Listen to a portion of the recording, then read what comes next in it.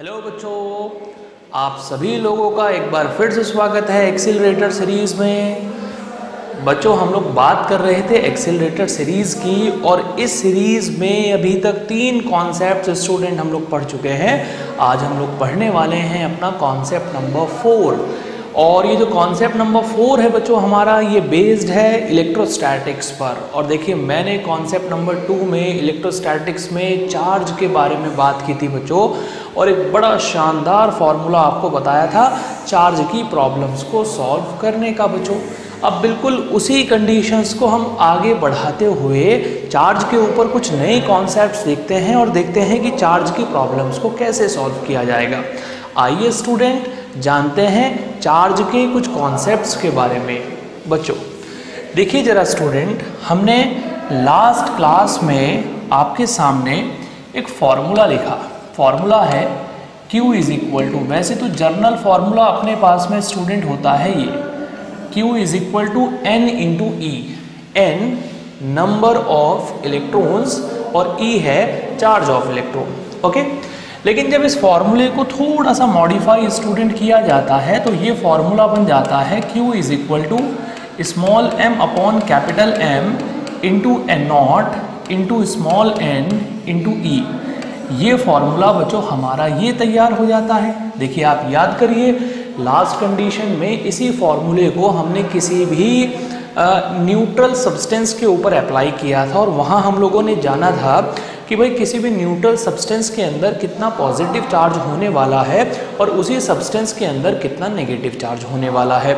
आज इसी फॉर्मूले को स्टूडेंट हम किसी आयन के ऊपर अप्लाई करने वाले हैं। और हम देखने वाले हैं कि किसी भी आयनिक मटेरियल के अंदर कितना पॉजिटिव या कितना नेगेटिव चार्ज होने वाला है।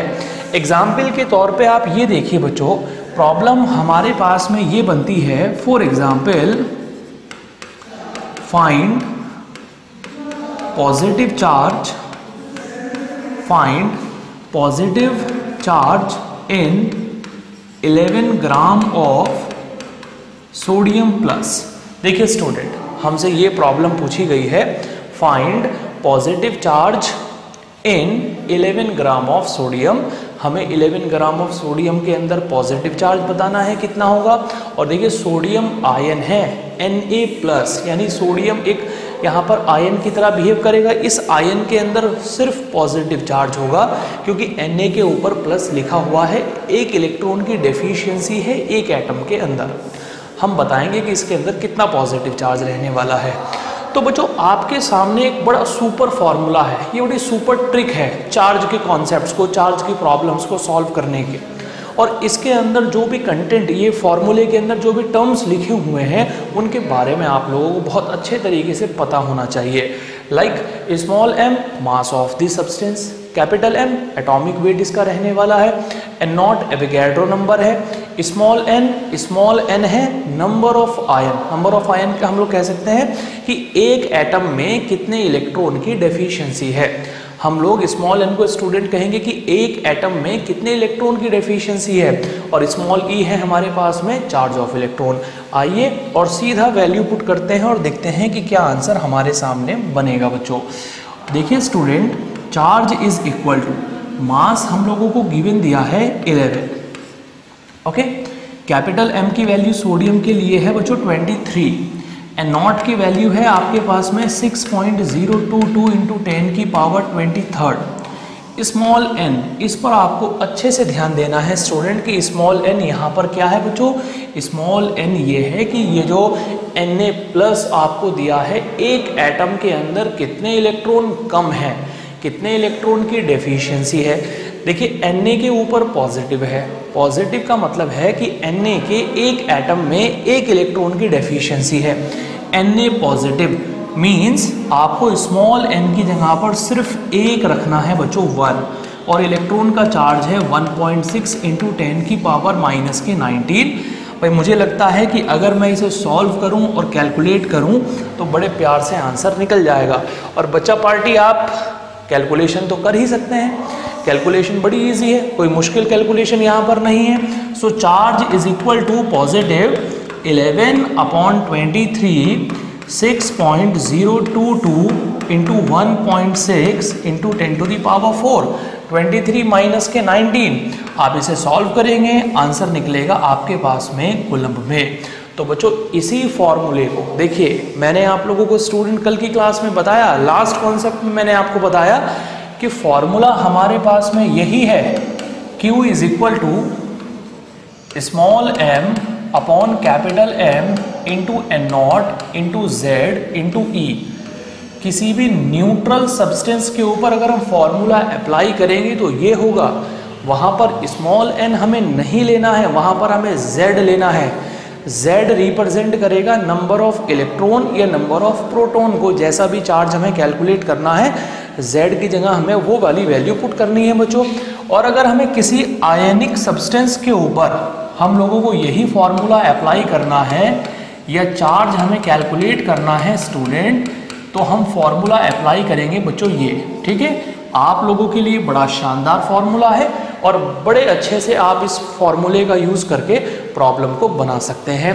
एन का मतलब मैंने आपको बताया कि भाई इलेक्ट्रॉन एक्सेस कितने हैं? अगर नेगेटिव चार्ज निकालना है तो आयन के ऊपर कितने इलेक्ट्रॉन की एक्सेस है?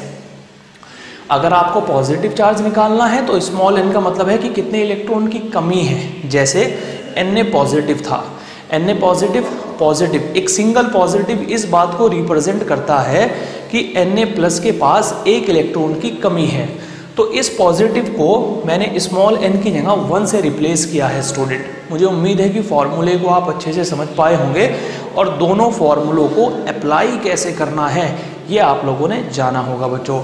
Z हम कहाँ यूज़ करेंगे? किसी न्यूट्रल सब्सटेंस के लिए लाइक वाटर NaCl या किसी और कंडीशंस के लिए हम यूज़ करेंगे। और ये जो दूसरा फॉर्मूला है, ये आयन की कंडीशन के लिए हम यूज़ में लेकर आने वाले हैं बच्चों। देखिए स्टूडेंट फॉर एग्ज़ाम्पल आपके पास में नेक्स्ट कंडीशन बनती है और देखिए कि नेक्स्ट कंडीशन हमारे पास में है क्या। बच्चों, हमें दिया है 20 ग्राम of C A plus plus अब देखो यार कैल्शियम के ऊपर आपको दो प्लस दिखाई दे रहे हैं। प्लस प्लस, हम कहेंगे डेफिनेटली इसके ऊपर पॉजिटिव चार्ज है। लेकिन हमें देखना पड़ेगा। देखो, एक एटम के ऊपर दो पॉजिटिव चार्ज है। एक एटम के ऊपर कितने पॉजिटिव चार्ज हैं? दो पॉजिटिव चार्ज हैं। तो हमें क्या करना पड़ेगा? हमें 20 ग्राम के अंदर पहले कैल्शियम आयन के नंबर ऑफ़ आयन कैलकुलेट करने पड़ेंगे। फिर उसकी मल्टीप्लाई 2e से करके हमें चार्ज को कैलकुलेट करना पड़ेगा। क्या तो हम ये पूरा सीधा कॉन्सेप्ट लगाकर प्रॉब्लम को सॉल्व करें? या हमारे पास में जो सीधे ट्रिक है, जो सुपर ट्रिक हमारे पास में है स्टूडेंट हम सीधे उस कॉन्सेप्ट का यूज़ करके भी प्रॉब्लम को सॉल्व कर सकते हैं। और वो जो सीधी ट्रिक है हमारे पास में, वो जो सीधा कॉन्सेप्ट है हमारे पास में, वो क्या है बच्चों? वो स्टूडेंट ये है small M upon capital M into N nought into small N into small E हमारे पास में वो जो सीधा कॉन्सेप्ट है बच्चों, वो ये होने वाला है। आइए देखते हैं कि इस कॉन्सेप्ट को हम सॉल्व कैसे करेंगे। यहाँ के according Q is equal to calcium का मास रहने वाला है 20 कैपिटल एम रहने वाला है 40 अरे यार, इतना तो पता ही होना चाहिए हम लोगों को। अगर हम ट्वेल्थ स्टैंडर्ड पे पढ़ रहे हैं बच्चा पार्टी तो इतना हमें क्लियर होना चाहिए बिल्कुल कि कैपिटल एम की वैल्यू हमारे लिए कैल्शियम के लिए 40 होने वाली है। वैसे कैल्शियम आइसोटोप्स की कैटेगरी के अंदर आएगा। स्मॉल एम मुझे गिवन दिया गया है 20 ग्राम और कैपिटल एम की वैल्यू है 40 फॉर कैल्शियम ठीक है? एंड नॉट की वैल्यू स्टूडेंट मेरे पास में है। 6.022 point zero two two into ten की पावर ट्वेंटी थर्ड एन पूरा मामला आकर स्मॉल एन पर अटक जाता है। मैंने आप लोगों से क्या कहा स्टूडेंट अगर न्यूट्रल सब्सटेंस है न्यूट्रल लाइक वाटर है NaCl है H2SO4 आपको न्यूट्रल दे रखा है, या कोई और न्यूट्रल कंडीशन है तो स्मॉल n की जगह आपको कलेक्टिवली एटॉमिक नंबर रखना है। पूरे सब्सटेंस का कलेक्टिवली एटॉमिक नंबर या पूरे सब्सटेंस के नंबर ऑफ़ इलेक्ट्रॉन या नंबर ऑफ़ प्रोटॉन आपको यहाँ पर पुट करने हैं। लेकिन ये तो आयन है। आयन के केस में हम क्या करते हैं? पॉजिटिव काउंट करिए कितने हैं? दो पॉजिटिव है। तो स्मॉल एन की जगह हम रख, रखने वाले हैं स्टूडेंट टू और इलेक्ट्रॉन की चार्ज की वैल्यू है ये 1.6 पॉइंट सिक्स इंटू टेन की पावर माइनस के 19 अब मुझे लगता है कि बहुत ही आसान है। प्रॉब्लम सॉल्व हो गई हमारे पास में। ये इससे कैंसिल आउट टू ये टू इससे cancel out so charge is equal to six point zero two two into one point six into ten की पावर फोर कुलम पॉजिटिव में. ट्वेंटी ग्राम कैल्शियम के ऊपर इतना पॉजिटिव चार्ज आने वाला है बच्चों. This is the positive charge on 20 gram calcium इस तरीके से प्रॉब्लम को सॉल्व करेंगे. तो ये बहुत सुपर ट्रिक है स्टूडेंट किसी भी प्रॉब्लम को सॉल्व करने की. सीधा बहुत शानदार फॉर्मूला है आपके सामने. न्यूट्रल सब्सटेंस के ऊपर भी आप इसे लगा सकते हो। बस इतना ध्यान रखिएगा कि स्मॉल एन की जगह जेड आपको पुट करना है और आप आयनिक मटेरियल के ऊपर भी इसे अप्लाई कर सकते हैं, ठीक है? ओके अब मैं एक प्रॉब्लम आपको देते हैं। जल्दी से उस प्रॉब्लम को सॉल्व करिए और कमेंट बॉक्स के अंदर उसका आंसर मेंशन करिए बच्चों। प्रॉब्लम स्टूडेंट आपके पास में है five gram of C L minus ठीक है? आपको इसके अंदर find negative charge find negative charge in five gram of C L minus ठीक है? आपको इसके अंदर नेगेटिव चार्ज बताना है स्टूडेंट कितना होगा। जल्दी से आप प्रॉब्लम को सॉल्व करें और कमेंट बॉक्स के अंदर आंसर को मेंशन करें स्टूडेंट ओके मिलते हैं आप लोगों से एक नए कॉन्सेप्ट के साथ, बच्चों, एक नई क्लास में। ओके चलिए।